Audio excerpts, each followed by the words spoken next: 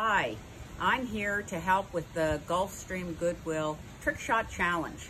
And as you know, homelessness is a big problem here in Palm Beach, made even worse by this pandemic.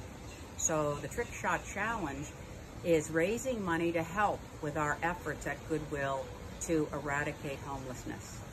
My challenge is that Carl and I will match for every dollar donated to this trick shot an equal amount up to $2,500.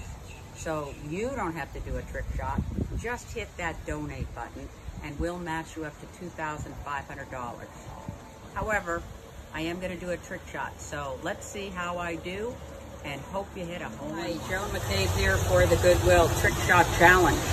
And $2,500 will be donated to match all donations to help homelessness during this time of pandemic. So let's see how I can do here. Are you guys ready? We are going to see what we can do.